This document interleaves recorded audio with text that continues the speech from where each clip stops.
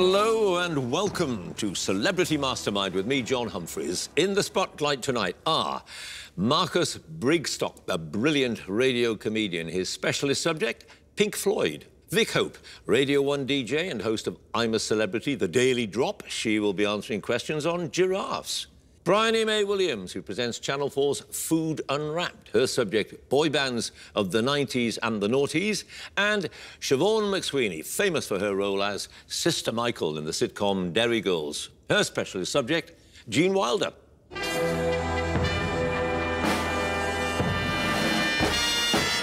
Four celebrities who have spent years building up their reputations and they're now putting it all at risk in the name of charity. And, of course, the glory of perhaps becoming a celebrity mastermind. The rules are very simple. They get 90 seconds of questions on their specialist subject, two minutes on general knowledge. So let us ask our first contender to join us, please.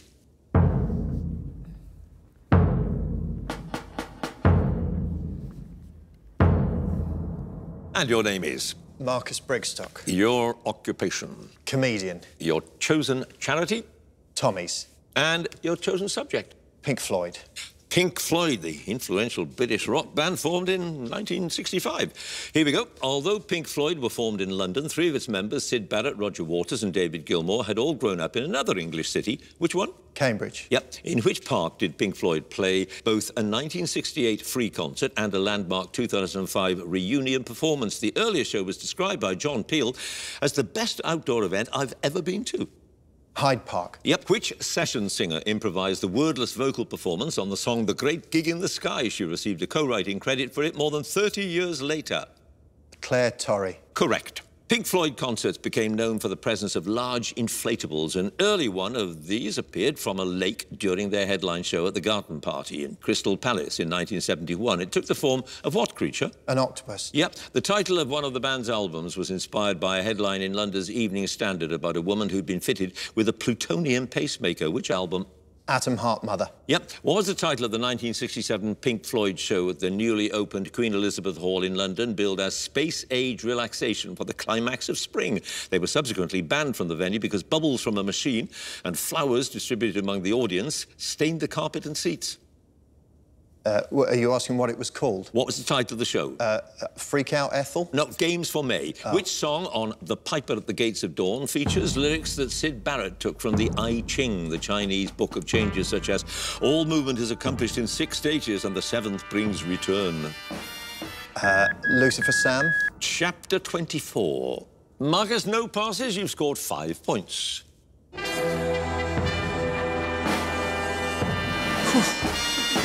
Someone else go. And our next contender, please.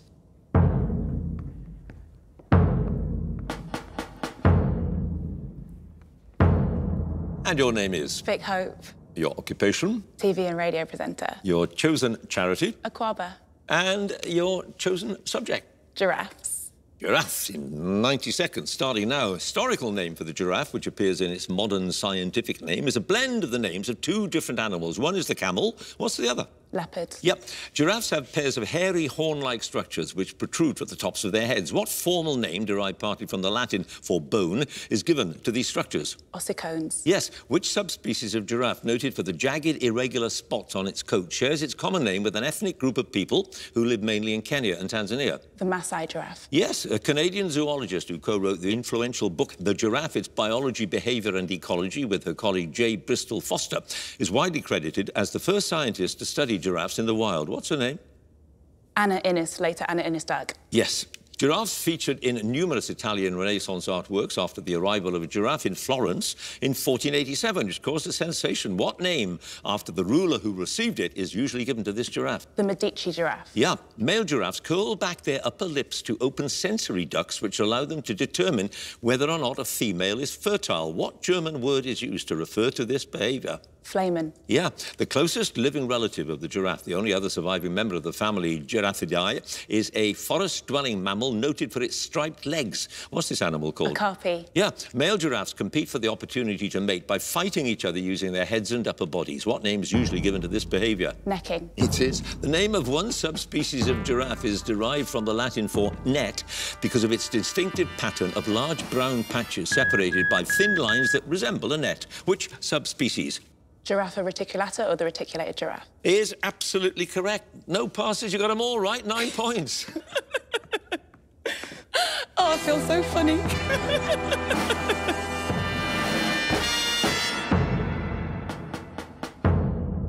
and our next contender, please.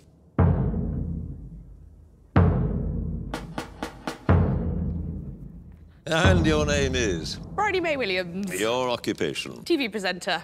And your chosen charities? Paul's Place and Bristol Mind. And your chosen subject?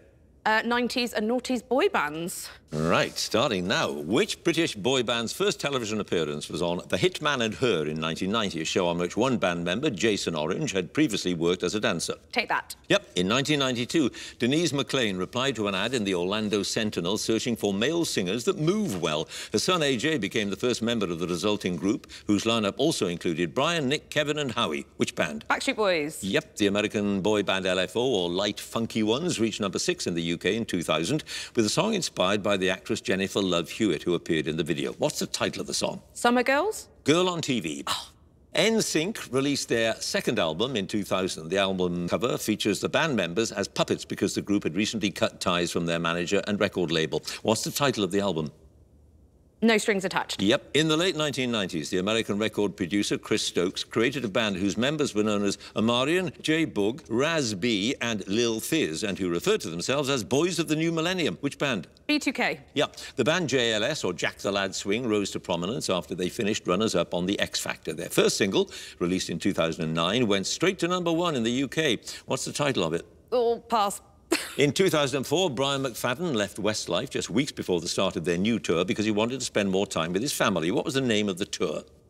Oh, uh, World of Our Own. Turnaround, a chart-topping 2002 album by Blue, includes the number one single, Sorry Seems to Be the Hardest Word, featuring Elton John, who co-wrote the song with Bernie Taupin in the 1970s. What's the title of the album? All Rise. Title is One Love. and you had one pass. Briony, the title of that JLS song was Beat Again. Oh. You have, however, four points. Okay, thank you.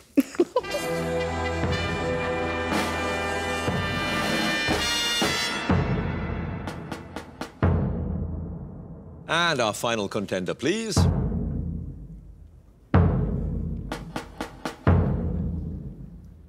And your name is? Siobhan McSweeney, Your occupation. actor, And your chosen charities. the Maya Centre and Abortion Support Network. And your chosen subject. Gene Wilder. Gene Wilder, the American actor, writer, director. His films include Blazing Saddles, Young Frankenstein, and so on. 90 seconds, starting now. Wilder was born in Milwaukee in 1933. He chose the stage name Gene Wilder when he joined Lee Strasberg's Actors Studio in 61. What was his birth name? Silberman. Yep. After Wilder graduated from university in 1955, he went to England to study at the Bristol Old Vic Theatre School. The courses offered included a sport at which he excelled. He won the all-school championship after just six months. What sport? Fencing. Yeah. In 1963, Wilder appeared with Anne Bancroft in a Broadway production of a play by Bertolt Brecht. It was at this time that he met Bancroft's then boyfriend, Mel Brooks, with whom he'd form a successful creative partnership. What was the title of the play? Mother Courage and her children. Yes, Wilder's feature film debut was in the 1967 film Bonnie and Clyde, which stars Warren Beatty and Faye Dunaway. He plays a man who's kidnapped by the couple. What is his character's name? Pass. Mel Brooks offered Wilder a role in The Producers not long after they first met, when the script was still a work in progress. At that time, it had a different title. What was it? Um, pass.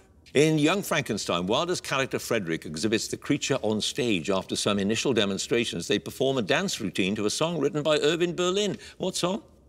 Putting on the Ritz. Yep, Wilder formed a successful on-screen partnership with Richard Pryor. The pair co-starred in four films, including Stir Crazy and See No Evil, Hear No Evil. They first appeared together in a 1976 film directed by Arthur Hiller. What film? Silver Streak. Yeah. In Stir Crazy, Skip Donahue and Harry Monroe, played by Wilder and Pryor, are sent to prison for a crime they didn't commit. They're accused of robbing a bank while dressed as what birds? Woodpeckers. Woodpeckers is correct. You had two passes, Siobhan. The title the producers had had was Springtime for Hitler. Ah, Siobhan. and uh, Eugene Grizzard was the uh, character that he played in that uh, Bonnie and Clyde film. You have six points. Thank you.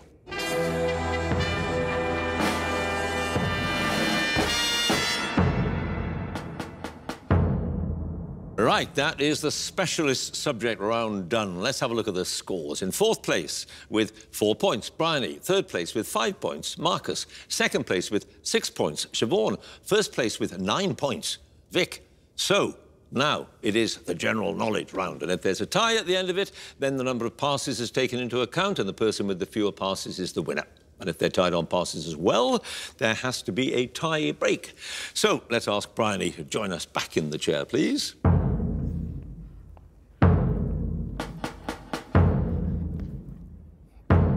And tell us why your life was changed last year. I was on uh, the Great British Bake Off, the Christmas special, um, and I managed to win it, um, which was great. And now I've gone on to be uh, become a TV presenter with Food Unwrapped on Channel 4.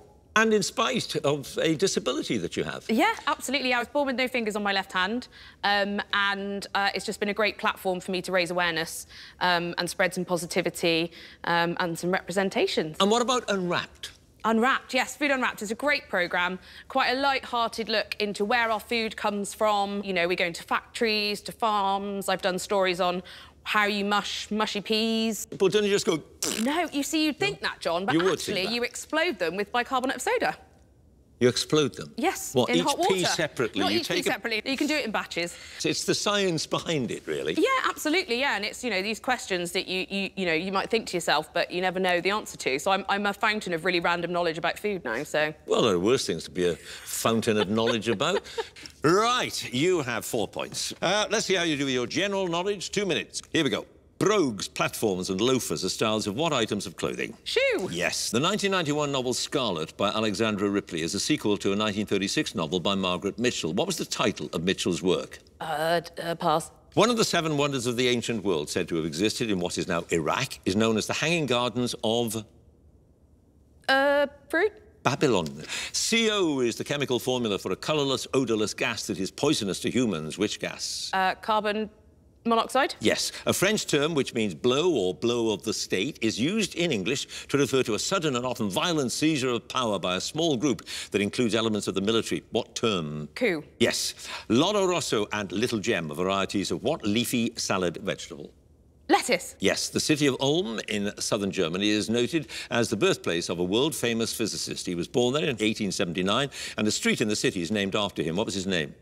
Uh, pass. Sorry. What's the name of the great mouse detective referred to in the UK title of a 1986 Disney film? Danger Mouse. Basil. In August 2020, which London-based football club won the FA Cup for a record 14th time when they beat Chelsea 2-1 in the final? Arsenal. Yes, the Dollywood theme park, which opened in the Smoky Mountains in Tennessee in 1986, is named after the country music singer who created it. What's the surname? Parton. Yeah. What term from the Greek for living together refers to a close, often mutually beneficial relationship between two species? Uh, cohabitation. Symbiosis. What snack popular in Tex-Mex cooking consists of tortilla chips, typically topped with melted cheese and a chili sauce? Oh, I can't believe I can't think of this. Nachos. Yes, what's the name of the yellow and brown puppy who's the title character of a series of children's picture books written and illustrated by Eric Hill? The first book was published in 1980. Spot. Yes, Town is the main settlement on a group of islands off the coast of Cornwall. Which islands? Uh, Guernsey. Scilly. In the standard UK version of the board game Scrabble, the letters F, H and Y each have a face value of the same number of points. How many? Six. Four. Ah. Yeah. Two passes. Albert Einstein was the quite famous bloke who was born in Ulm, and that novel by Margaret Mitchell was Gone with the Wind. You've now got 12 points. Oh, I'll take that, John. Thank you very much.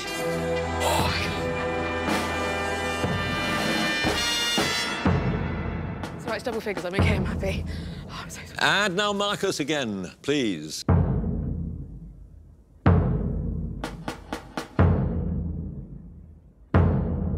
Must not be forgotten, Marcus. We have been on a telly show together. It was called I've Never Seen Star Wars. Oh, you- Oh, I you- haven't you- forgotten, John. well, neither have I. You made me look not difficult, admittedly, but you did make me look a fool. Now, let's not say I made you do anything. You keenly volunteered to I get don't up remember that and bit. moonwalk. you moonwalked like an absolute dance hero. I had encouraged you to listen to, I think, Thriller for the first time ever. Yes. And uh, and then I got you to moonwalk. I thought you were great, man. I, I, I genuinely thought at that point a change in career might have just happened for you. But here we all are. I hope it won't affect the standard of questions you're about to ask me. Well, let's put it this way. I discarded the first set. Oh, good. Thank you so much. what about your, um, your own career? I mean, you are doing many things. I like doing as many different things as I can. I, I was lucky enough to play P.T. Barnum in, in Barnum. Yeah. Uh, I got married to Oh. a comedian, Rachel Parris. It turns out it's very good for you to be married to someone cleverer and more talented than you. It really keeps you on your toes, you know? You're only saying that, aren't you, because she's watching? No, no, I meant, I, mean, meant from her point of view. you have five points and two minutes of general knowledge. Coming up now. On a bicycle, the thin metal rods that extend from the centre of a wheel to the outer rim are known by what name? Spokes. Yep. Oh, there was once a swagman camped in the Billabong. It's the original first line from an Australian bush ballad written in 1895 by the poet Banjo Paterson. Which ballad? Waltzing Matilda. Yeah, which planet in our solar system has a diameter of about 7,520 miles, and that makes it the closest planet in size to Earth? Uh, Uh, Neptune. Venus. The racehorse who won the Epsom Derby in 1981 was kidnapped almost two years later and was never seen again. What was his name? Shergar. Yeah, the Suffolk farmhouse known as Willy Lott's Cottage appears in several paintings by a British landscape painter who was born in the nearby village of East Bergholt in 1776. Which painter? Constable. Yep, one of the major groups of nutrients includes foods such as pasta and potatoes, has a name that's often abbreviated to carbs. What's the name? Carbohydrate. Yep, the original version of a well-known fairy tale was first published in France in 1740 with the title La Belle et la Bête. How is the story known in English? Beauty and the Beast. Yep, although there are exceptions, the rule for spelling certain words is expressed in the rhyme I before E except after C. Yep. The common name of a flightless bird of the genus Apteryx, native to New Zealand, is also a nickname for a person from New Zealand. What's the bird? Kiwi. Yeah. In which US state are the popular winter sports resorts Vail and Aspen? Uh, Uh, Utah. Colorado. Revenge of the Fallen, Dark of the Moon, and Age of Extinction are the subtitles of the first three sequels to a 2007 science fiction action film directed by Michael Bay. What film? Avengers. Transformers. The adjective haptic refers to which of the traditional five human senses? Touch. Yes, Fingal O'Flaherty Wills were the middle names of a famous writer born in Dublin in 1854. Which writer? Uh, Heaney. Oscar Wilde. The ninth of Edward Elgar's Enigma variations, often played at funerals and remembrance services, is named after a biblical hunter. Which hunter? Pass. In a British television series of the 1960s, the intelligence agent John Steed is assisted first by Cathy Gale, then Emma Peel, and finally Tara King. What series? Uh, Avengers. is absolutely correct. Marcus, one pass. The ninth of Elgar's Enigma variations was Nimrod. And you have now a total of 15 points. All right.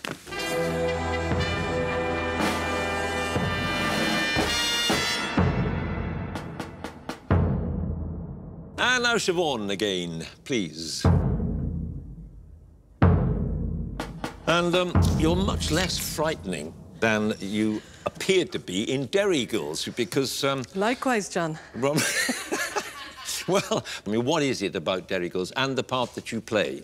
It is set in a school uh, and centres around... Catholic girls' school. A Catholic girls' school. Um, I play their principal. I know you would have thought that I played the Catholic schoolgirl, but actually I play Sister Michael, and I am the uh, the ever patient headmistress.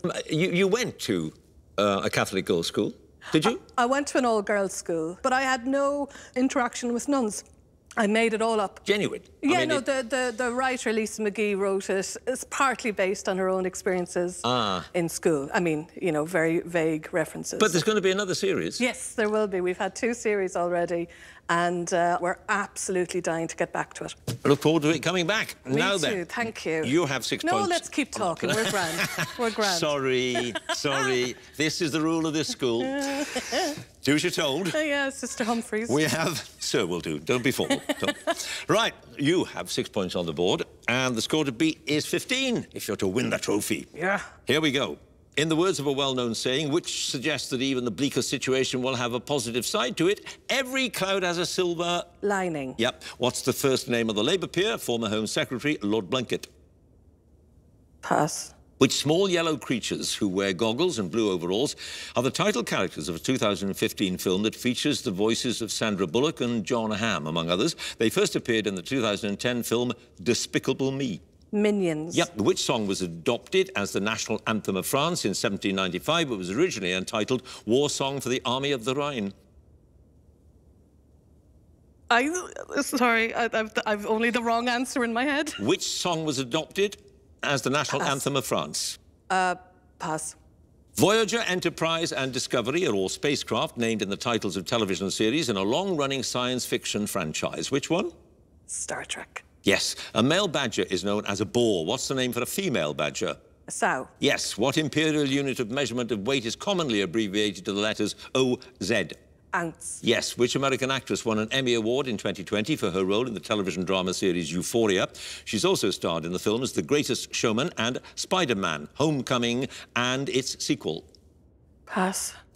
The island of Capri, noted for its famous Blue Grotto, is at the entrance to a bay off the west coast of Italy, which is named after a major city. Which city? Naples. Yes. What's the usual British name for an electric passenger vehicle that runs on rails inlaid into the road? In North America, it's often called a streetcar or trolley car. A tram. Yeah. The writer Bram Stoker is best remembered for his vampire novel Dracula. What is his name Bram short for?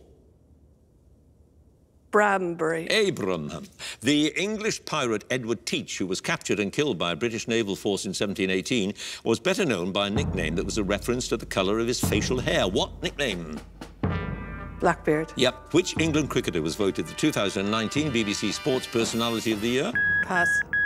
Ah, well, I could tell you because your time is up. The Ben Stokes is the answer to that. And the other passes, the um, American actress who won the Emmy for her role in Euphoria was Zendaya. Oh. You'll be cross about this Yep. one. The national anthem was the Marseillaise. And uh, Lord Blunkett is actually David Blunkett. And you've got 14 points. Thank you.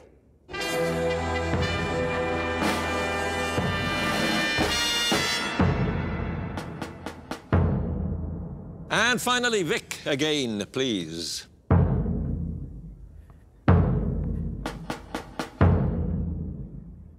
And, uh, Vick, you do an awful lot now of children's telly. Yeah. So I do How, which is back. It's called How because it's how do you do that, Yeah, basically? How do do this? how do does do that, happen? And- How does it work? Yeah. The last time it was on TV, it was Fred Dinenage and Carol Vorderman. So it's it's pretty cool to step into Carol Vorderman's shoes. and how have things changed in those years? I've not seen anything as ambitious as what we've tried to do this series for a long time because I, I guess there's not as much children's TV around. Hmm. There's the internet, there's YouTube and other places, but I'm really glad that we've brought it back. And there's explosions and there's science and it, it just feels like what it used to be. And I, I, I used to watch it, you know, I used to get up in the mornings with my little brother and we'd wrap ourselves in a duvet and it feels like that TV again. And the one certainty about kids, the one great thing about kids, is, is curiosity, isn't it? I mean, that's, that's, that's the key to it, isn't it? Yeah, I, I think I've learned a lot from doing it as well. A lot of the science that I've probably not had to touch on since I was back at GCSE level. So I hope that kids are watching it and, and learning a lot, but also being entertained. I mean, there's a lot of gunge. Uh, now, you have nine points. This is where it all goes so far, Vick. And the score to beat is old Briggs not there. He's got 15. So, let us see if you can overtake him to win the trophy. Here we go. A common phrase that means good luck exhorts an actor or performer to break a... Leg. Yep, a Punch and Judy show features a character called Toby. What type of creature is Toby? Oh, an elephant. Dog, a rope with a loop at one end used in North America to catch cattle, sometimes called a lariat, but is better known by a name derived from the Latin for noose. What's the name? Lasso. Yeah. In September 2020, Tadej Pogacar became the first Slovenian winner of which famous cycle race? Um, Tour de France. Yep, the shipping forecast area in the North Sea directly between Thames and Wight shares its name with a seaport on the English Channel. Which port? Portsmouth. Dover. Pharrell Williams topped the UK singles chart in 2014 with a song that includes the line, Clap along if you feel like a room without a roof. What's the title of the song? Happy. Yes. Which element has the atomic number seven and the chemical symbol N? Uh, nitrogen? Yep. Which member of the British royal family married the property developer Eduardo Mapelli Mozzi in a private ceremony in Windsor in July 2020? Um, Eugenie? Beatrice. The radio call sign Air Force One is used when the American president's on board the presidential aeroplane. The corresponding radio call sign Marine One is normally used for what other form of transport? A submarine? Helicopter. Oh. A variety of pasta in the form of short, narrow tubes has a name that's also used for 18th century British dandies who would imitate continental fashions. What's the name? Penne? Macaroni. Which English city has parliamentary constituencies called Riverside, Walton and Wavertree? Uh, pass. What's the name of the British writer and actress known for her roles in the television series Chewing Gum, Black Earth Rising and I May Destroy You? Michaela Coel. Yes. Do you hear the people sing and bring him home? Are songs from what stage musical? Uh, pass. Which Korean martial art was added to the Olympic programme at the Sydney Games in 2000? Judo? Taekwondo. In October 2020, which presenter stepped down after 33 years as one of the hosts of Radio 4's Woman's Hour? She'd been created a dame in 2011 for services to broadcasting. Um, Jane Garvey. No, it was Jenni Murray. Of course it was. You had uh, two passes. The musical with Do You Hear the People Sing and Bring Him Home, that was Les Miserables, and the English city, which has Riverside, Walton, Wavertree, etc., Liverpool. You have 15 points.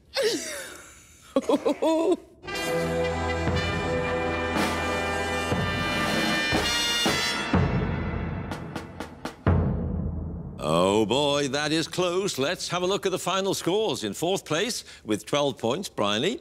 Third place with 14 points, Siobhan. In second place with 15 points and two passes, Vick. In first place with 15 points and one pass, Marcus, which means that he takes home the trophy and is tonight's celebrity mastermind. I feel appalling. Appalling. Appalling after such astonishing knowledge of giraffes and then also like that it should go on, on passes. I feel awful. But that's the way it works. Look, I'll take the win. And just one pass in it as well. Anyway, congratulations, and uh, you do not have to be a celebrity to take part in the regular Mastermind programmes. If you'd like to appear in the next series on BBC Two, you can apply online at bbc.co.uk stroke mastermind. And you can follow us at Mastermind Quiz. Either way, do join us again next time for more Masterminds, and thanks for watching. Goodbye.